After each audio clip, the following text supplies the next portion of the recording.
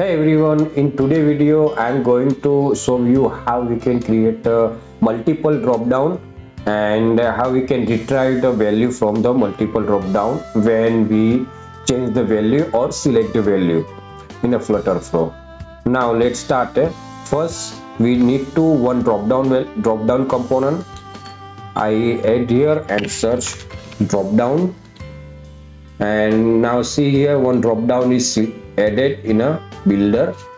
I am going to property and add here value Java PHP and Python. Now I want to select any value from the drop down. Then I want to show in a text widget. Now next I select a text widget and bind selected value from the drop multiple drop down. I centralize first and uh, in a property text here I select drop down. Now drop down value yeah. Now I first I convert drop down in a multiple drop down here allow multiple select. I check true and now it is a multiple drop down. I select text widget for showing value. I select drop down. Now drop down value is in list form. So directly it is not showing here. For that we need to create a custom function.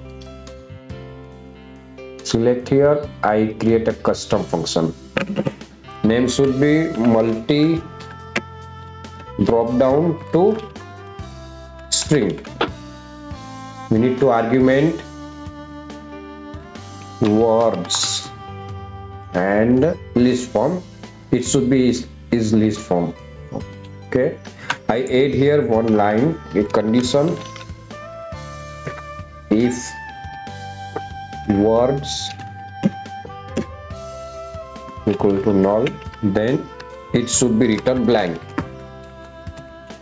Otherwise return words join it should be concatenate with delimiter comma. I save this function and again going to builder select text widget and bind that custom function and pass here drop down. List of form. Select and default value should be double dash. So double dash means it is not selected yet. Now I have shown one error. Okay we need to compile custom function. It is proper. Now I run this application now it would be take time. Now we can see here application is going to running. Now it's close the debug panel. Now we can see multiple drop down and text widget now again i select java python and see value selected here. I select two value java and python and the value is initialized in a text widget so php here three values selected. Now I deselect Java and Python. Now we can see here what value is there PHP so what we do in, in a FlutterFlow builder so basically directly we not get any value in a string form. That's why we need we are adding here one custom function multi drop down to string in function what happen it is give a list of string and list of string I convert in a one string using join method.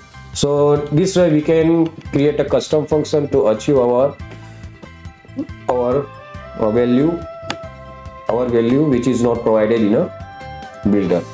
So this way we can implement multiple drop down and retry the its value.